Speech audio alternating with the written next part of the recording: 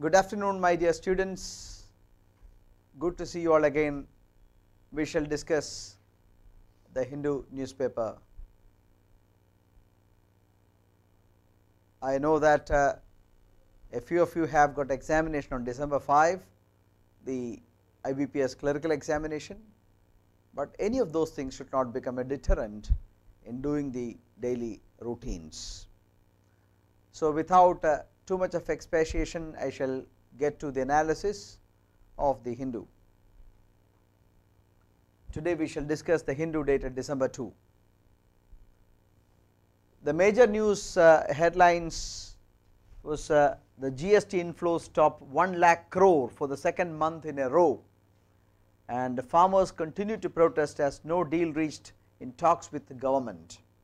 We know that uh, for the past 8 days farmers mostly from Punjab and Haryana are trying to march to Delhi who were and were prevented by the might of the police.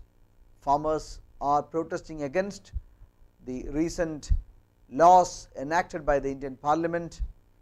The farmers fear that uh, laws are uh, almost equivalent to writing off their future to the hands of the corporates.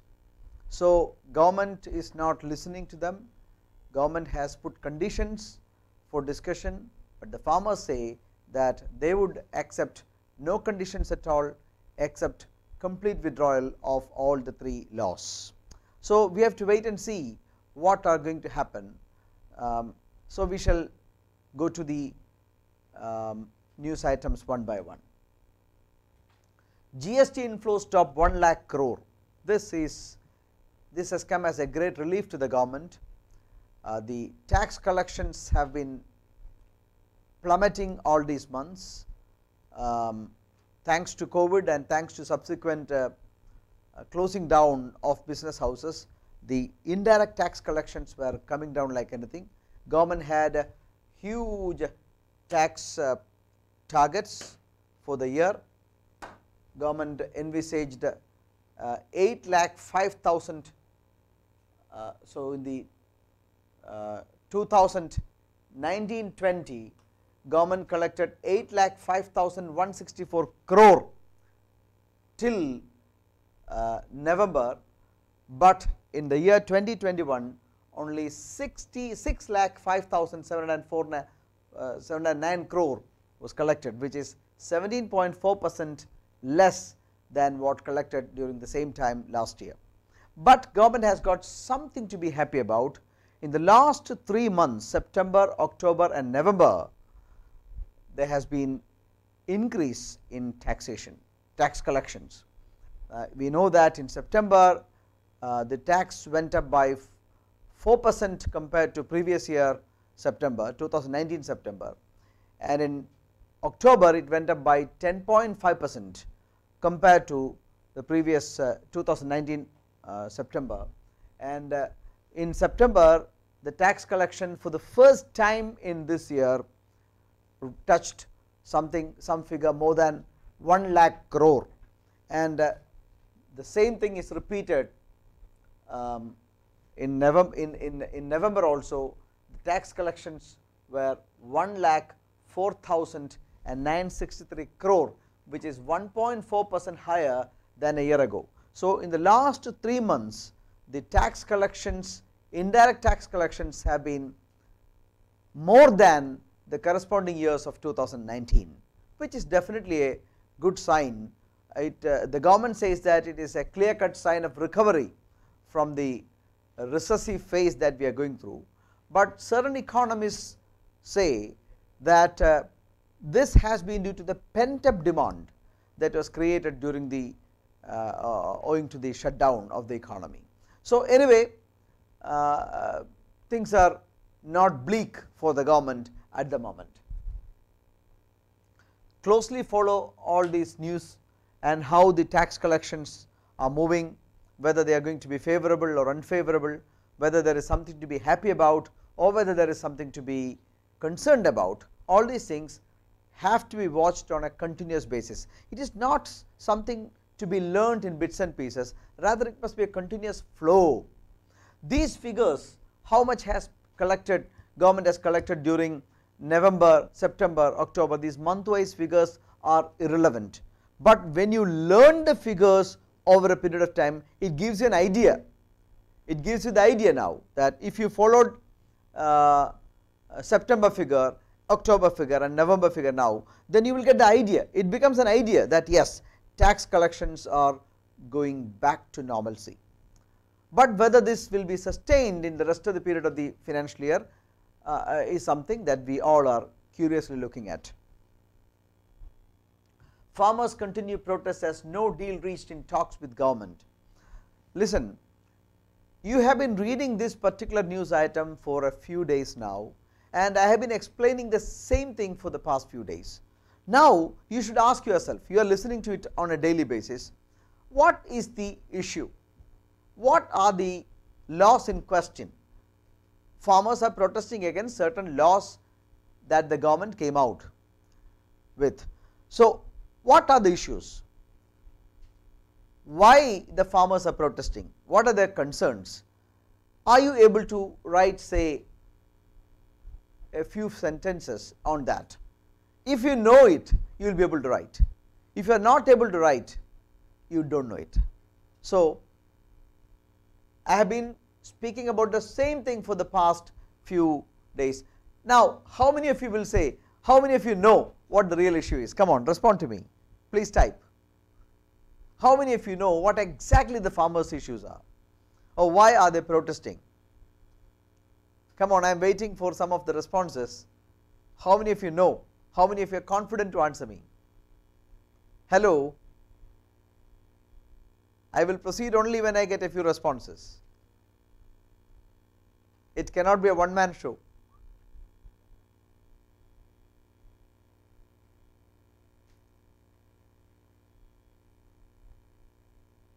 Excuse me, please respond.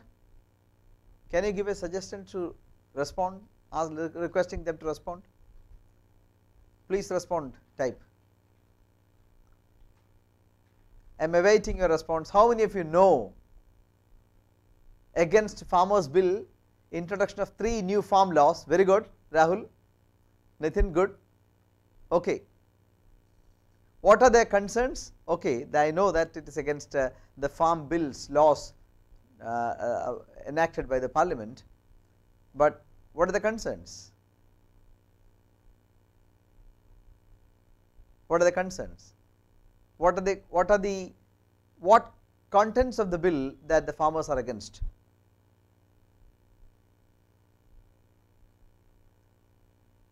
Okay. One or two more responses are awaited. They are worried about the privatization taking place in agriculture sector. They are protesting against the new farm laws and guarantee for MSP okay, lose their interest. Taking away MSP okay that is mandis will also be gradually removed. These are their concerns okay. They are concerned that the mandis will be removed. They believe that in the days to come MSP will not be there. Third, they believe that guaranteed procurement of their produce may end.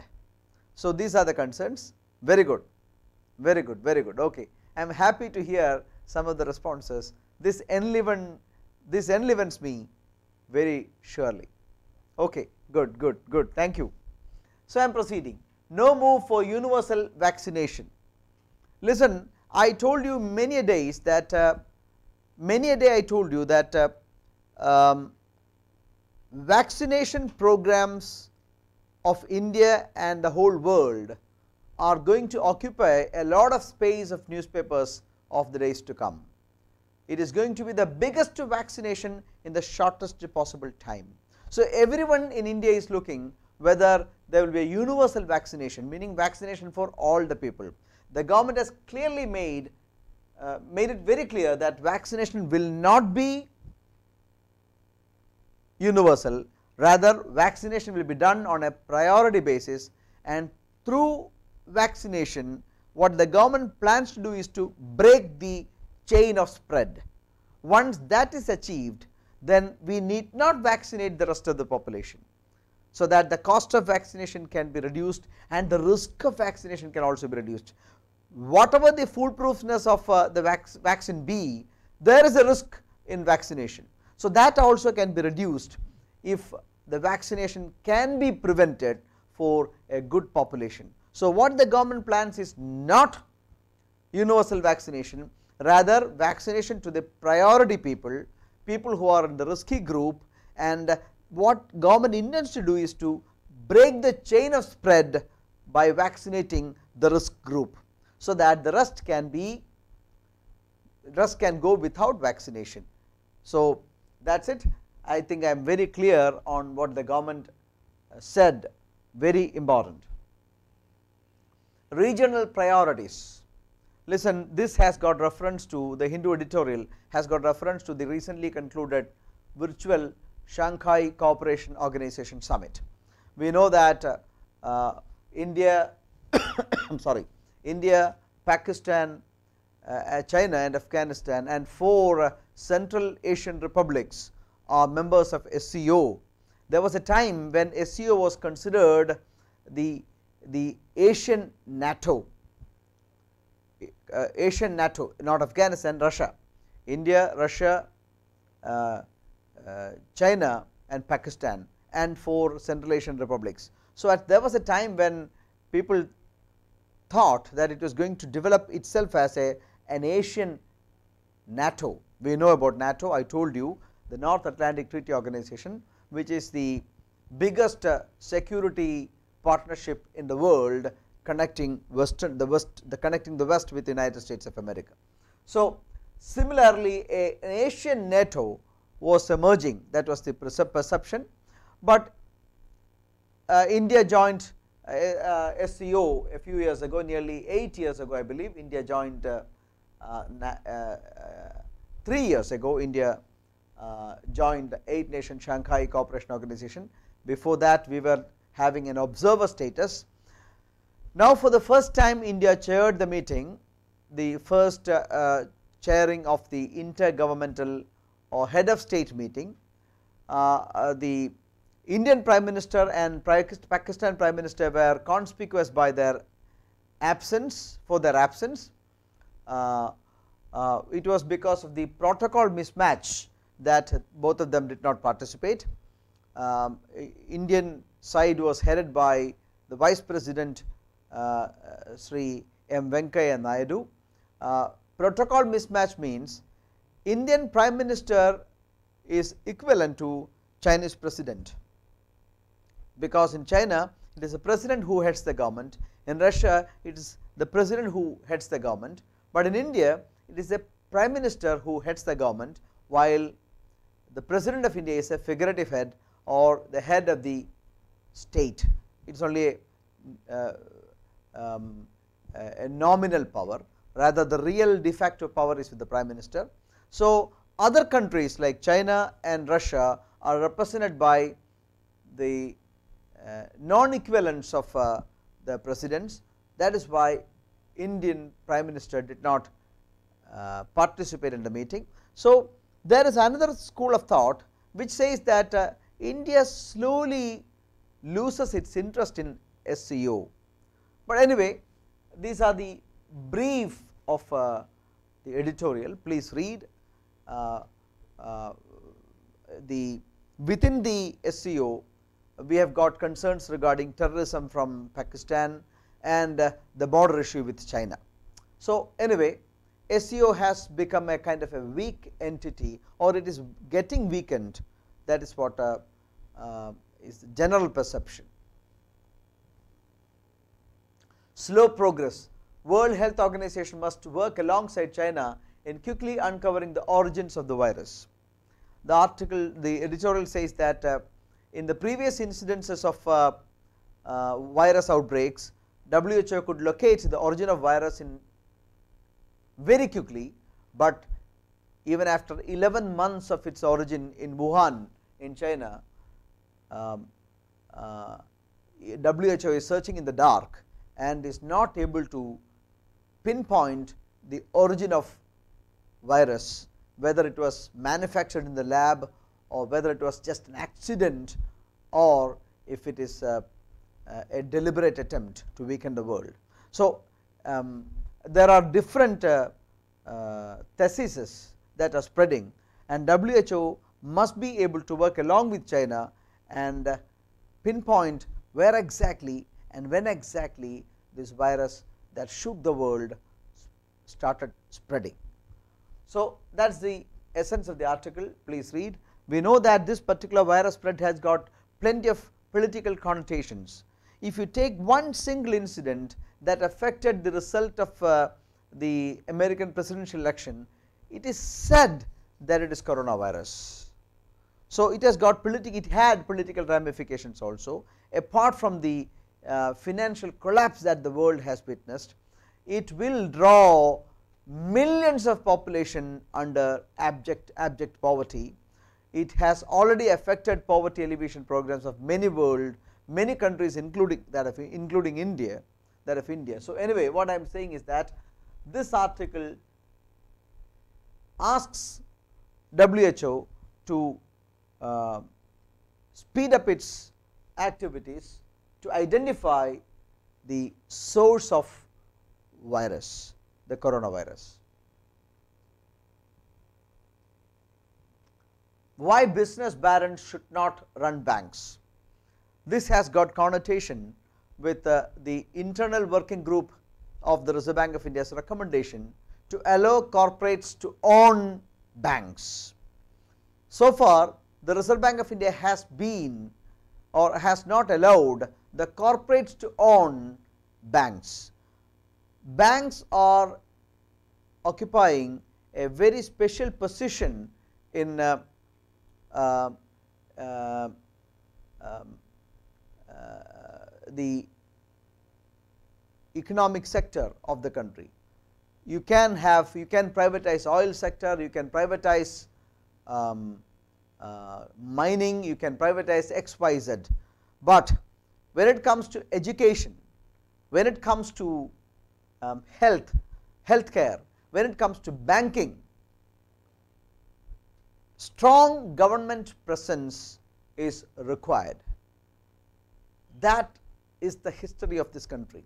So, what government uh, uh, thinks or the Reserve Bank of India think tank thinks seems to be out of place that is what the article says uh, and the article starts with a beautiful thing first a confession is in order would I want to own a bank and have a key to the bank treasury to start a new airline that is the opening question seems to be really good that first sentence itself conveys the idea.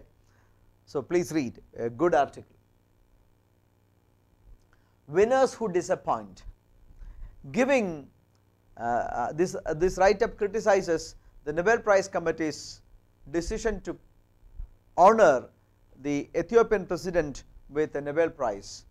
It is risky that uh, uh, prestigious awards are given to people uh, who occupy political positions, because their ambitions may change in the instant case uh, uh, Abiy Ahmed of Ethiopia, the president of Ethiopia, the prime minister of Ethiopia Abiy Ahmed was given Nobel Prize in 2018. He was given the Nobel Peace Prize for stopping the war with the neighboring Eritrea. Eritrea and Ethiopia had been under war for long long time and when Abiy Mohammed became the prime minister in prime minister he, in 2017 uh, he took immediate actions to stop the war between Eritrea and uh, to honor the, his efforts the Nobel Peace Committee gave him the Nobel Peace Prize for the year 2019. But in 2020 situations got changed now he has sent his own army the Ethiopian army to the Tigris the northern Ethiopian region of Tigris region Tigray province so, now what is going to happen? The peacemaker who was awarded with the highest Peace Prize of the world is now making war with his own people. This question was raised when Bharatratna was given to uh, uh, young people, very young people. When Bharatratna is given to very young people, there is a there is a, uh, a real trouble which was cited by many people. When Bharatratna was given to even Sachin Tendulkar, one school of thought said, of course, we all understand the contribution given by Sachin Tendulkar to the world of sport. He is not just a sports personality, he is an iconic figure in India, he is a god of cricket, people love him. Anybody, uh, uh, uh, any mother in India would love to have a son of his kind. Uh, uh, either you or I would prefer to him as our brother. Um, any coach in India would love to have a person of Sachin's kind under his tutelage, but giving him Bharat honoring him with Bharat was criticized by many, not for the lack of contribution from Sachin, but at the age of 44 he was given 42 I think he was given Bharat and you see uh, uh, it is a risky stuff. The highest civilian honor of the country is given to a young person that is always risky.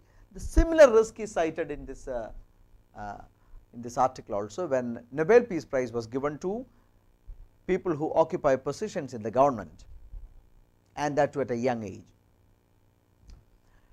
And in this article it speaks about uh, the award given to Aung San Suu Kyi of Myanmar. Aung San Suu Kyi was uh, given Nobel Prize, uh, he was uh, the fighter uh, who brought freedom to, brought democracy to um, um, Myanmar, but she last year supported the military action against Rohingya refugees. In the International Court of Justice, The Hague, she supported, she defended the military action in uh, uh, um, um, the Rohingya refugees case. So, that was also a uh, uh many eyebrows were raised when she took a stand of that kind.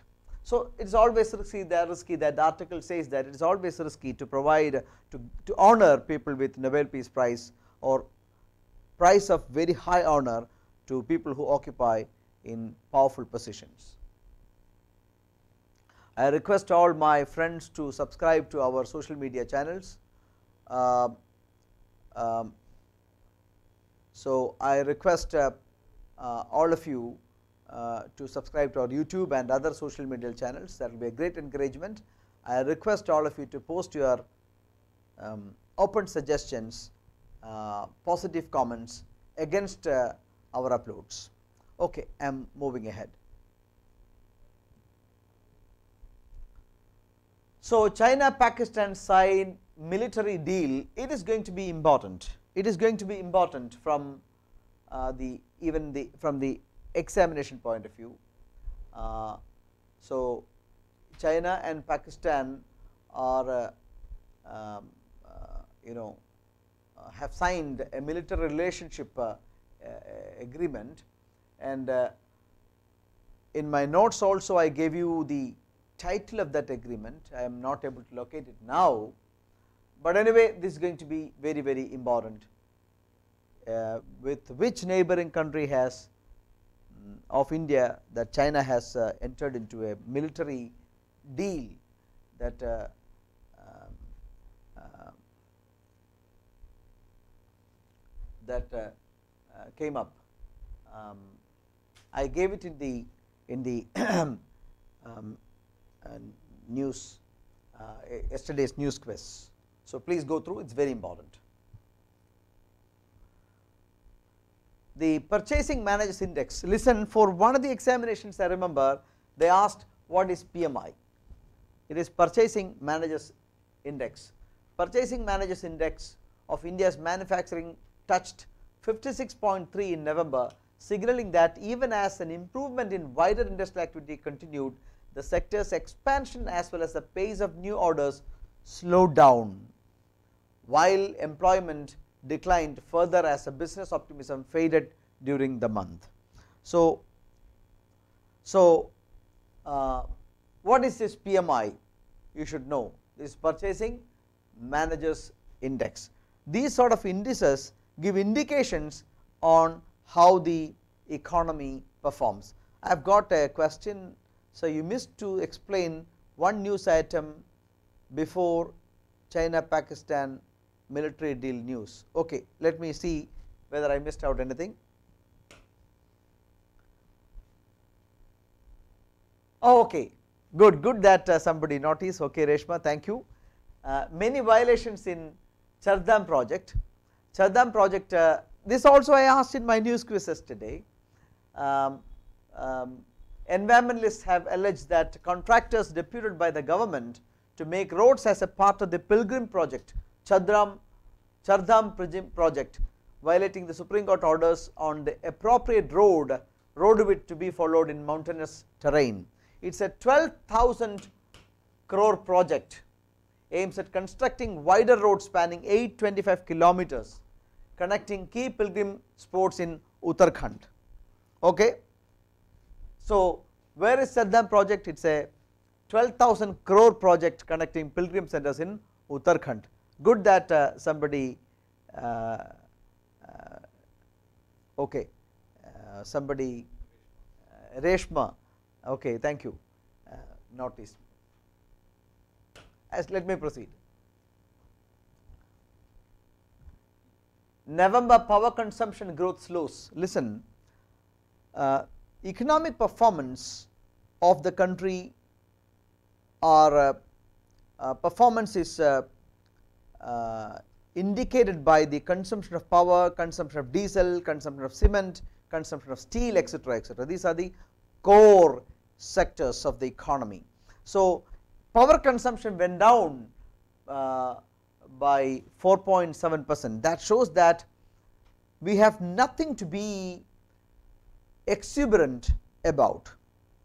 So, uh, GST has been going up, government is very happy about GST, government says that the GST increase indicates that the economy is back on track, but on the other hand economists say that that is not the case, the GST growth could be because of the pent up demand that was created in the economy thanks to slowdown, but the real indicators are lower consumption of electricity, diesel consumption uh, came down by 7 percent. Uh, these are major indicators. The, the construction sector is also doing very badly. Cement consumption went down, uh, steel consumption went down. It may be going up when compared to the first or second quarter which were severely damaged by COVID, but when compared to corresponding months of previous years they have declined which is not at all a good sign for the economy. Paytm waives charges on merchant transactions very important. We are digitizing our economy. So, when we go for digitizing the economy, we have to ensure that cost of transactions both to customers as well as merchant organizations are very much within limit. So, this is a great sign Paytm has decided that they will not charge uh, uh, anybody for uh, accepting payment from Paytm wallet UPI apps or RuPay cards and they will zero charge. So, that is a great relief to business houses, merchant houses. So, that can also come as your as a question to you. Thank you very much for uh, watching the day's program. Um, I have a few um, uh, questions from you. Of course, we have to make it in the days to come more interactive, uh, so that uh, that will energize me, that will uh, be a challenge to me. I like that challenge. So, please ask questions to me. I will also ask you questions. Uh, uh, for it to become a really interactive session, you must ensure that you read the newspapers before you turn up for the program. I once again request all the students to make comments to our YouTube channel against this program, so that uh, uh, more participants will come and when more participants participants come uh, peer learning will also help us.